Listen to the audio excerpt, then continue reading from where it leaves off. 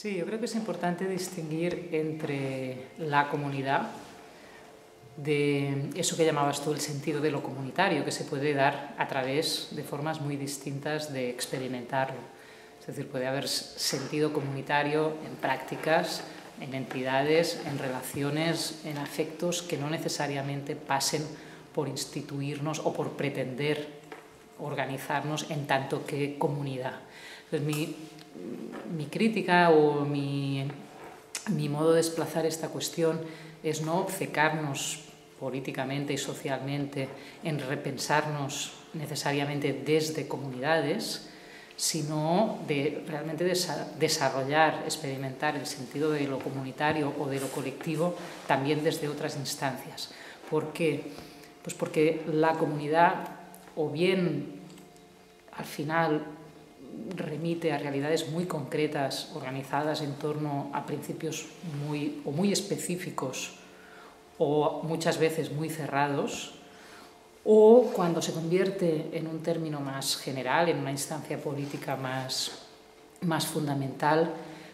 yo creo que pasa a funcionar como lo que decías tú, como un ideal que o bien nos proyecta de alguna manera en un imaginario nostálgico de eso que hemos perdido cuando las sociedades se han hecho complejas, urbanas, anónimas, o bien ah, como eso que anhelamos casi como, digamos, como ideal de reconciliación, de armonía, ¿no? la vida comunitaria como ese lugar en el que todo sería resuelto porque todo estaría armónicamente compuesto. Entonces yo creo que desde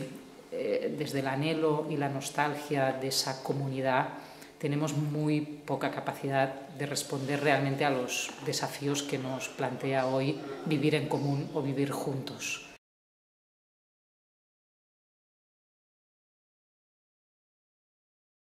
Nosotros hemos, nosotros y aquí digo nosotros porque es un tema que hemos elaborado desde España en Blanc, desde publicaciones colectivas, desde también desde prácticas de, digamos, de lo colectivo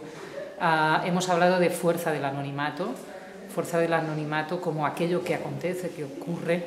cuando emerge un nosotros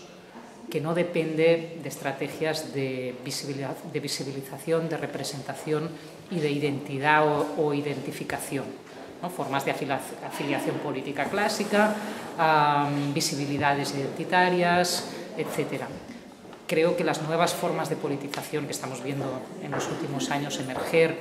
antes ya del 15M y antes ya de, lo que digamos, sería nuestra actualidad más inmediata, serían expresiones en muchos casos de esa fuerza del anonimato.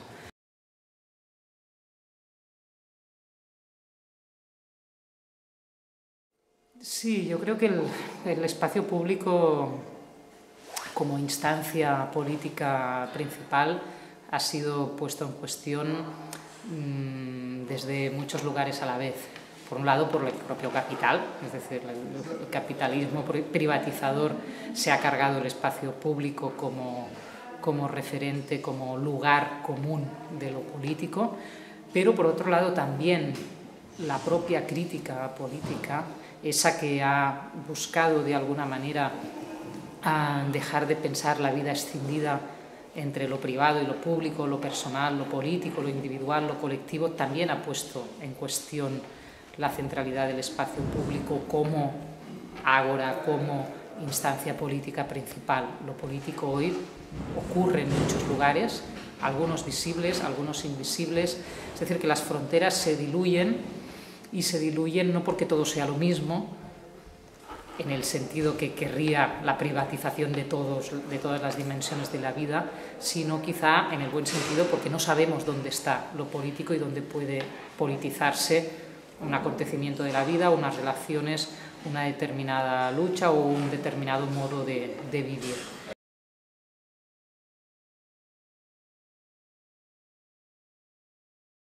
Sí, yo pongo el, compromiso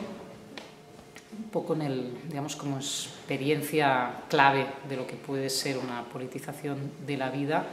y entiendo el compromiso, el compromiso no como un acto de la voluntad, es decir, como algo que un sujeto que está frente a un mundo lleno de problemas decide acometer,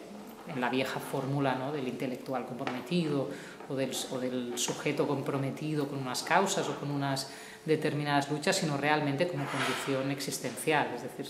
vivir es estar comprometido, ya se quiera o no se quiera.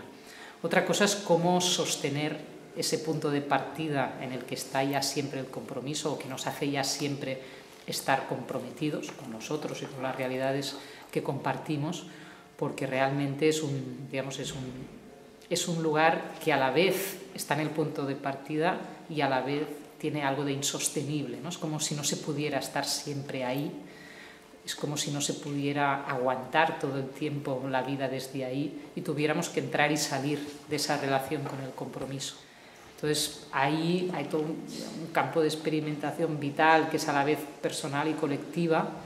que creo que está muy en el centro de las, también de las nuevas formas de politización que vemos hoy emerger, ¿no? en la que hay una relación con eso que bueno, que digamos se cuenta con ese compromiso, aunque no sea siempre uh, sostenible, que atraviesa todas las dimensiones de la vida, aunque no las puede capturar todas al mismo tiempo, y tenemos que encontrar formas también de cómo hacer que eso, digamos, en vez de acabar en la sensación y en la experiencia que todos tenemos mucho de, la dispersión, de la discontinuidad, del no poder sostener esos compromisos, pueda, al revés, pueda componerlos desde una lógica distinta, desde una lógica que cosa o de algún modo teja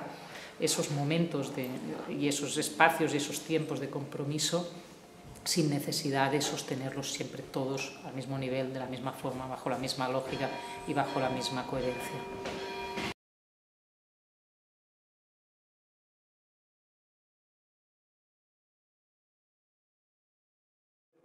Yo creo que es una de las cuestiones clave que tenemos ya de hace tiempo y cada vez más con la crisis de manera más urgente sobre la mesa, que es repensar la educación. La educación que había sido delegada a la, institución pública, ¿no? a la administración, con todo lo que tenía de riqueza colectiva mmm, tejida y tramada desde múltiples instancias, desde, pues, desde los ateneos hasta las cooperativas de padres, hasta las diferentes maneras en que eso se había conquistado socialmente, en este momento ya de manera evidente, ese depositario la está destruyendo. Entonces, ¿cómo retomamos eso sin crear guetos? ¿Cómo retomamos lo educativo en nuestras manos sin encerrarnos en comunidades digamos que de algún modo pues defiendan sus intereses, es decir, la educación en gran parte de los propios hijos, desatendiendo esa labor que tiene que de algún modo no abandonar nunca la educación, que es la de no ser parte de un interés privado, aunque sea de una comunidad, pero en el fondo privado, ¿no? sino que sea algo realmente abierto a cualquiera tenga o no maneras de incorporarse a una, a una comunidad de un tipo u otro.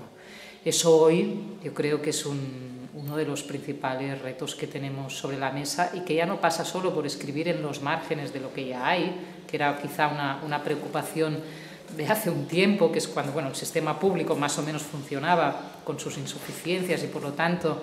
nos podíamos permitir abrir fugas, abrir líneas de, éxodo, de, de, diálogo, de salida y de entrada de ese mismo sistema, sino que el propio sistema está en cuestión de una manera uh, profunda. Yo lo vivo en la universidad, que es donde trabajo,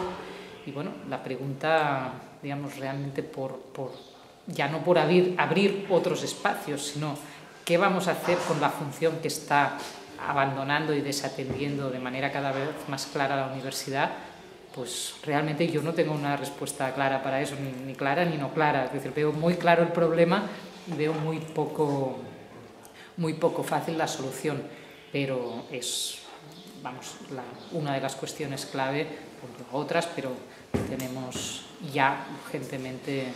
que asumir.